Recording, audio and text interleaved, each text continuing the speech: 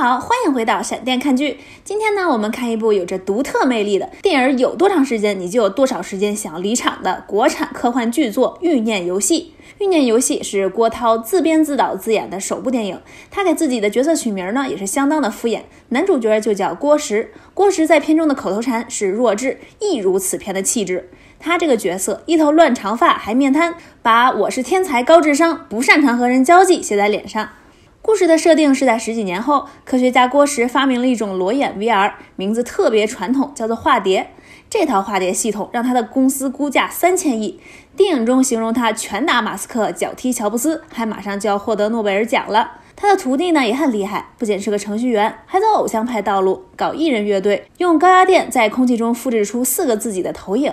这是否暗示了此徒弟是火影忍者的粉丝，所以自己学会了影分身和表莲华呢？好景不长，噩梦发生在郭老科学家身上。他的化蝶在给他女儿试用的过程中，不慎让小孩从楼上掉下去摔死了，所以他就产生了化蝶 PTSD。症状是你一给他听花儿乐队的《化蝶飞》，他就嗷嗷乱叫。化蝶飞。哦，不是不是，他毅然的放弃了公司，和妻子分居，深居简出，天天吃蔬菜沙拉配大肠面外卖，给宠物狗准备的也都是蔬菜沙拉。导演郭涛大概觉得天才等于弱智，而观众也约等于弱智吧，于是就在电影中安排了种种弱智的情节，比如汽车在高架桥上正开着，郭石一言不合，直接从副驾准备开门下车，不把道路千万条，安全第一条放在眼里。然后呢，一个打扮十分妖艳的年轻女人，对郭石这种中年长发宅男疯狂放电，主动去他家洗澡。著名情感学家吕子乔曾说过：“白给的不要，大逆不道。”郭石知道老婆和兄弟在一起，给自己戴了绿帽子。于是，当他再次遇到那个妖艳女人的时候，两个人呢就谈到床上去了。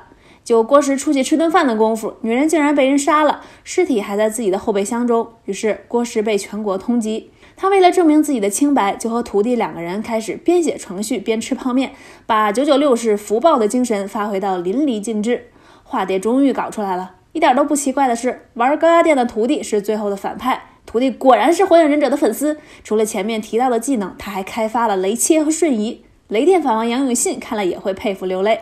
最终，本片说好的悬疑终于来了，剧情强行反转，那段智障雷电大战竟然是假的，原来是郭石在接受治疗，一直就没有人死。是因为郭石患了 PTSD 之后，他的老婆梅婷、合伙人范伟以及弟子江潮非常的困扰，想要帮他康复。于是他们找来了医生王迅，设了一个局，让他一步一步的走进去，在这个过程中摆脱心理问题。我是不知道郭石是否真的有摆脱心理问题，反正闪电看完之后，觉得自己的心理都不好了。为啥治疗女儿意外引发的心灵创伤，就得靠老婆兄弟背叛、睡年轻女孩和徒弟肉搏来治愈呢？本片豆瓣评分三点一，好过百分之零的犯罪片和百分之二的悬疑片，那后者就很不好理解了。到底是好于哪百分之二的悬疑片了？谁能给我解释一下？更难解释的是，片中的演员梅婷、范伟、王迅、张子枫等，明明大家都是演技派，电影怎么就不好看呢？这么黄金的演员阵容放到郭涛手上，没想到几乎锁定了明年的金扫帚。其实也能理解郭涛为什么要这么着急忙慌的拍出一部明显没有准备好的片子。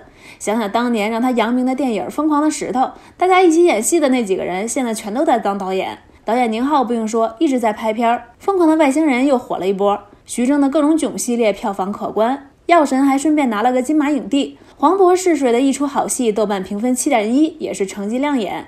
近几年好像谁都能当导演，于是郭涛也急了，拉了王迅一起拍了《欲念游戏》。野心太大，能力跟不上是硬伤啊，朋友。《欲念游戏》套一个科幻的壳子，还想运用近两年很火的 VR 拍高概念电影，最终过度自恋，鸡飞蛋打，失败至极。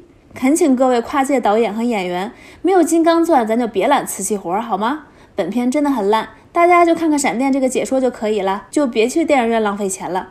最后，请记得关注闪电看剧，我们一起追剧看电影哦。